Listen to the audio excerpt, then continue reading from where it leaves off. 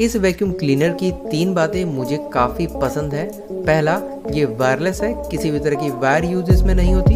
दूसरा, इसे आप अपनी कार में, घर में ऑफ़िस में कहीं पर भी इस्तेमाल कर सकते हैं। और तीसरा, इसे सिंपली किसी भी यूएसबी केबल से चार्ज किया जा सकता है।